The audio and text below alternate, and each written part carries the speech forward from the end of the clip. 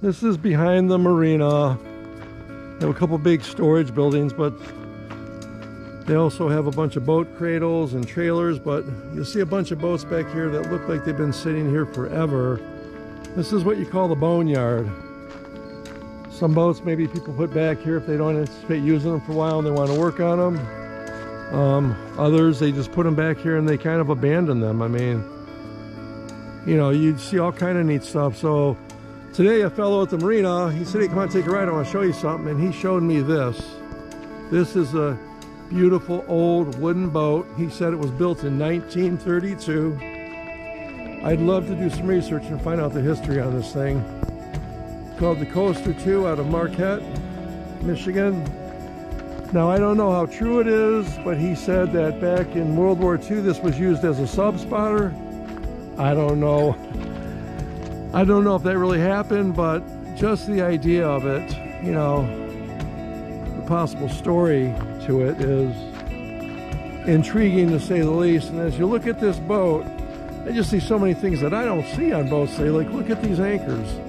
And this is this one. There's one, both one on the port and starboard side.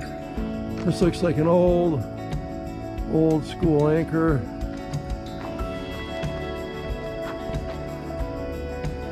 And here's another example of a, a bowsprit, but no bowsprit platform.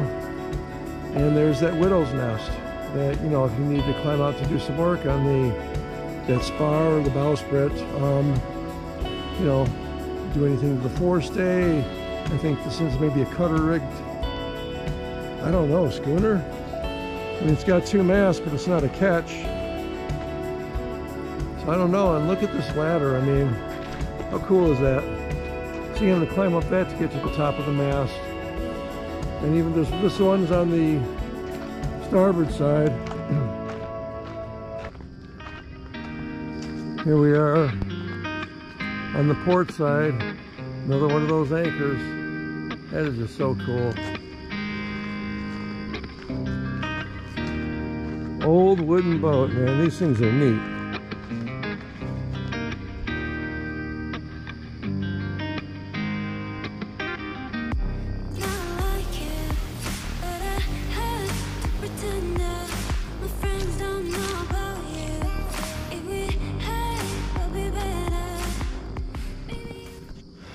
All right, well, thanks again for watching. This is just too cool.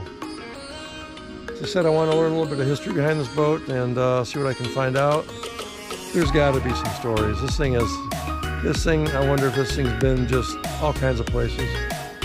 So, well, thanks again for watching. I always appreciate spending your time with me.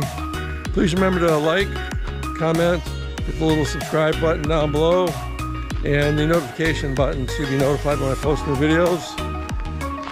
Hope everybody had a happy Labor Day and take care. Bye.